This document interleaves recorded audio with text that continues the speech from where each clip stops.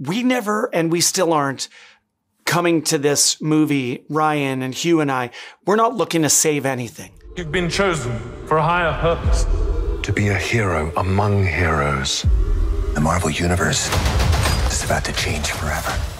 Ever since Avengers Endgame brought the Infinity Saga to an end, the Marvel Cinematic Universe has been a little all over the place. There's been boundary pushing experiments like WandaVision and Loki, but we've also had the likes of Eternals, Thor Love and Thunder, and Ant-Man and the Wasp Quantumania, all of which received a vocal, sour response from fans. When the low points have been as disappointing as they have been, and with no highs to contend with the likes of Infinity War and The Winter Soldier, it's no wonder the overall quality of the MCU is being questioned by fans. Marvel is totally aware of that conversation. In fact, it's even a reoccurring joke in Deadpool and Wolverine, the 34th movie in the Marvel Cinematic Universe. But will this R-rated curveball be the film to reignite the franchise? And is the director behind it, Shawn Levy, the man to save the MCU from its recent misfortunes? We spoke to him directly to find out. So sit back, relax, while we travel to a place where grown men and women walk around in tights and act like it's not a giant cultural cry for help.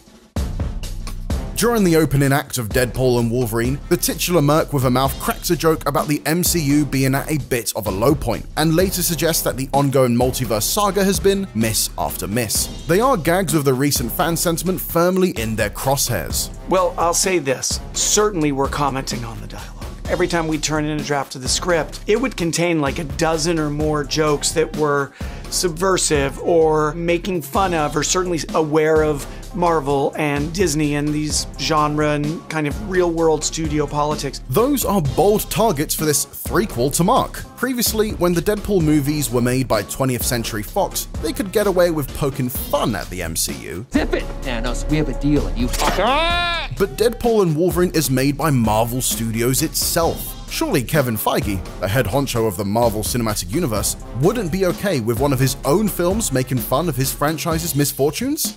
Time and again, Kevin, both supportively and I think smartly, his only rule was make it funny.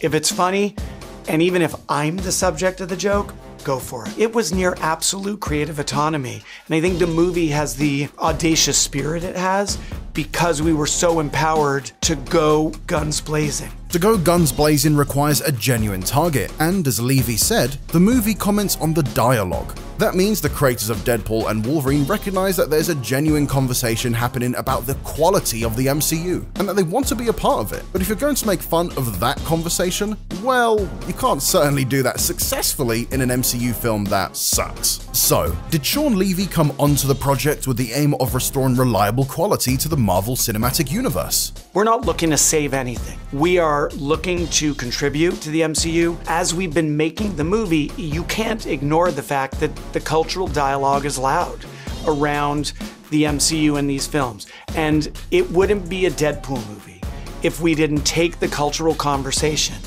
and throw in our two cents. And so, indeed, that's one of a few lines and moments and jokes where we are commenting on the genre, even as we are hopefully contributing something meaningful to it, but also taking the piss out of it. Want to do some cocaine? Hey, cocaine is the one thing that Feige said is off limits. What about Bolivian marching powder? They know all the slang terms. They have a list. Even snowboarding? Even disco dust. White girl interrupter? Even forest bump. Do you want to build a snowman? Yes, but I can't. While Levy may not have any ambitions of saving the MCU with Deadpool and Wolverine, the legacy of the films that came before meant that there was plenty of pressure to get this movie right. The truth is, the pressure on me is I know the love for Deadpool. I know the love for Logan. I know it because I have it. When Ryan asked me to do this movie with him, I knew that this movie has to be better than great because Deadpool 1 and 2 are great. Logan is a masterpiece. We put our reverence in the movie. It's not just what we feel on set, it's part of the storytelling. Disney brought him back. They're going to make him do this till he's 90. It was really cathartic and I think quite interesting to integrate our real world thinking about the Marvel legacy and build it into how we wrote the plot. But the pressure is fan expectation, fan adoration. Fans came to adore the MCU because not only did it frequently deliver what die-hard comic lovers wanted from live-action Marvel stories, but it also consistently surprised them. Nobody was asking for a comedic Thor movie from the director of a few New Zealand indie films, but Taika Waititi's Ragnarok instantly became an MCU classic. And so for Levy, the goal was to go above and beyond what fans expected of a third Deadpool movie. We have been relentless in making every part of this movie great and then going further. But hopefully, it's a movie that's as funny as people want, it's as action packed as people want, but it's also got a warmth. That may be its most subversive aspect, and the part of this movie that people are expecting the least.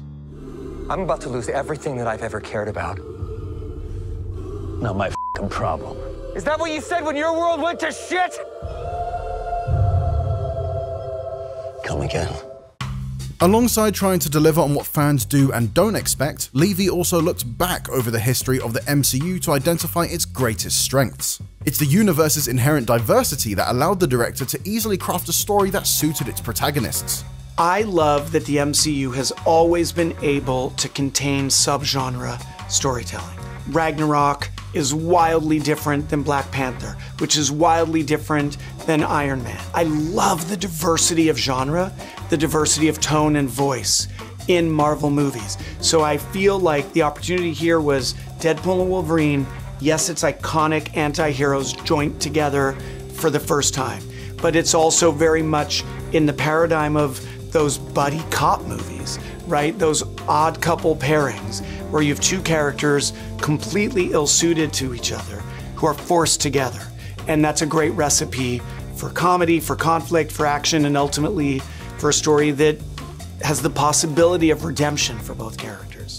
Deadpool and Wolverine might deliver more than just redemption for its characters, though. If it proves to be a hit, it may be the film that redeems the MCU in the eyes of fans who feel like it's dipped in quality. And if that's the case, those fans will likely want to see Ryan Reynolds and Hugh Jackman back on their screens. All being well, could Deadpool and Wolverine be the start of something bigger for the MCU? I love these characters so much. I love these performers, these actors, these stars, these icons. I don't know what the future holds. I will say this we very intentionally did not want to make a Marvel movie that is a commercial or a setup for the next Marvel movie. So we are not part of any phase that I know of.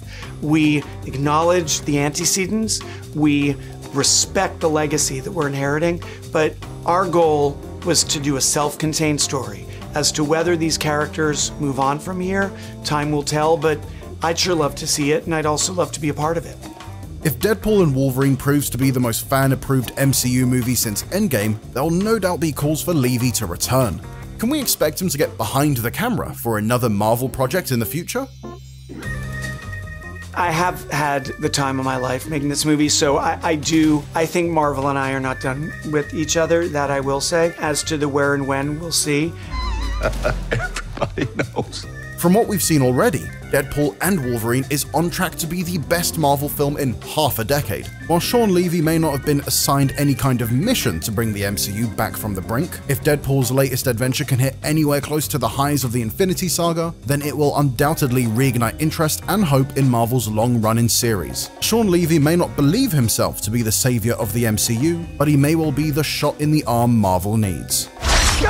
You nicked it. Just got the tip with your little steak knife. For more from Deadpool and Wolverine, you're already in the right place with IGN.